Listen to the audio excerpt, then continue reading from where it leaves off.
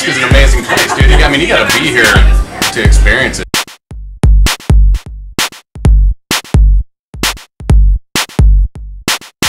I love the mountains and I love the weather.